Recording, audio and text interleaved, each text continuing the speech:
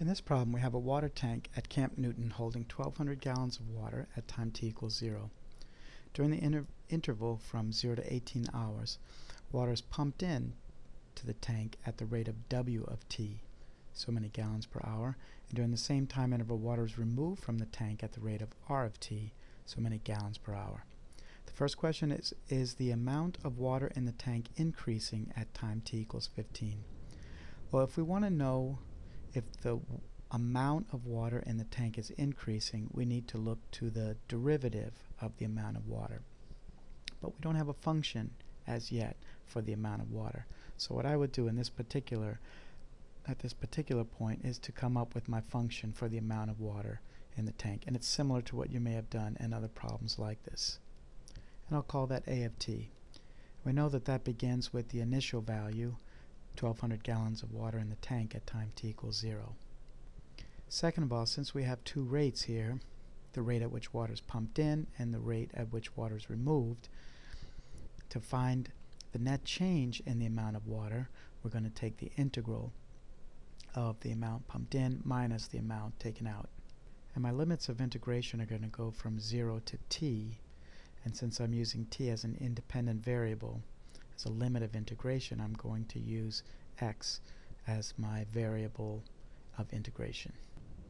So the amount of water in the tank is comprised of the initial amount of water in the tank plus the integral of the amount of water added or the integral of the rate at which water is added minus the integral of the rate at which water is removed from the tank from 0 to t seconds. Now if I want the derivative of that from the second part of the fundamental theorem of calculus, that should just be a prime of t is equal to w of t minus r of t. And in this case, we're looking to see whether the amount of water in the tank is increasing at t equals 15. To do that, we're going to have to use a prime of 15.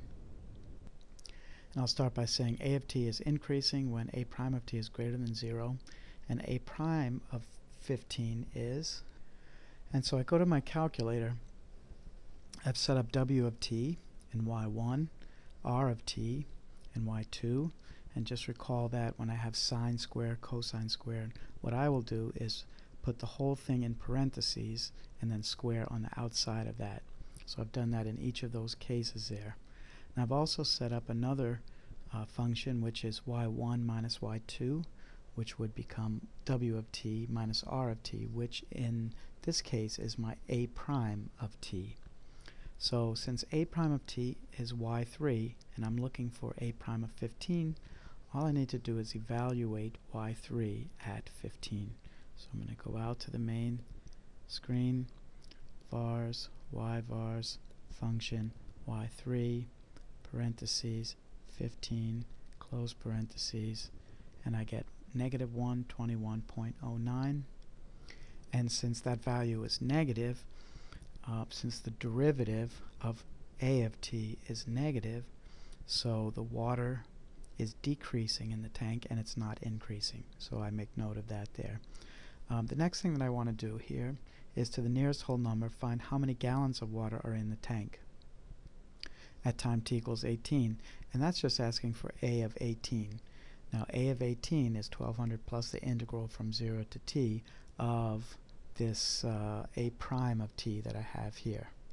So since I'm already at the home screen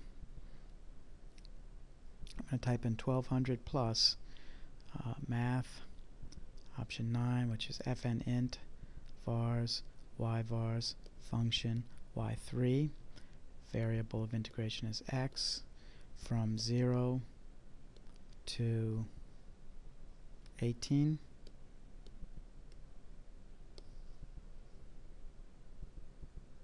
and I get 1309.788 to the nearest whole number would be 1310 gallons.